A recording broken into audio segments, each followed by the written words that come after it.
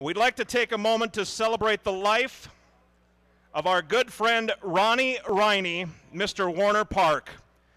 Ronnie recently passed away. Mr. Warner Park will always be a part of the spirit of the Madison Mallards. His eternal optimism, his love of people, and of the north side of Madison will never be matched. Ronnie always, always had a good idea, a song to share, or a tale about the heroics of the players that used to call Warner Park home. As a matter of fact, the former Madison Muskies manager Jim Nettles, when he would come back once a summer, always made sure he would see Ronnie before Ronnie saw him.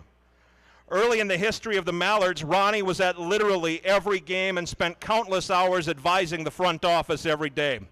Whether he was greeting a fan coming to their first Mallards game, putting peanuts in cups on the duck blind, passing out pocket schedules, Ronnie always found a way to help out.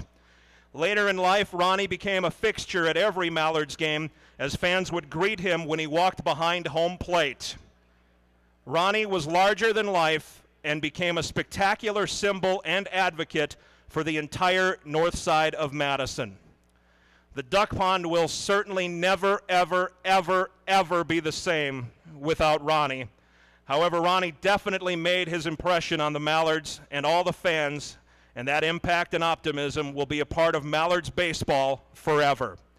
Fans, we'd like to have a moment of silence in memory of our friend, Ronnie Reine.